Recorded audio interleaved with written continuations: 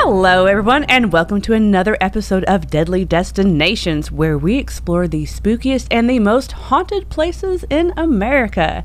And I am Christy, and I'm joined by Philip. Hi there. Today we're taking you to one of the oldest cities in the United States, St. Augustine, Florida, to the infamous St. Augustine Lighthouse.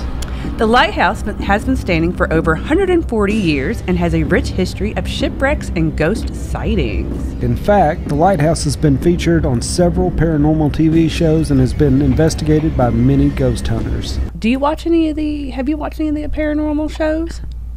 The ghost hunters and stuff? No. I know some of their names. You know, obviously like Zak Bagans, he's here and he has his um, Right.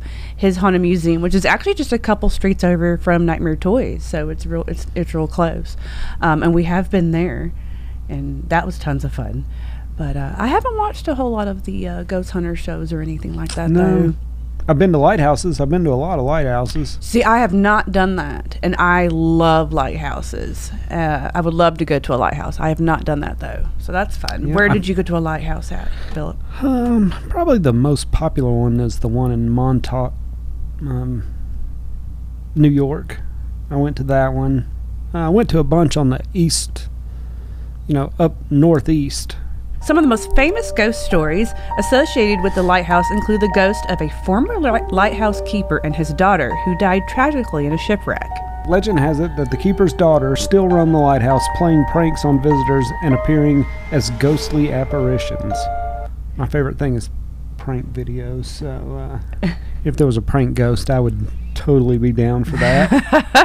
I don't know what kind of pranks they play, but sounds fun. Lighthouses like like aren't that big though, right? It's just kind of like walking like they're big as far as like big as in tall, Tall. but not like a lot of space is what I'm trying to Right. say. You got, you know, like a spiral staircase or whatever to go all the way up to the top. So I mean, that'd be kind of scary if you seen a ghost in a lighthouse. You ain't got too far to go except taking the stairs up or down and Yeah. right?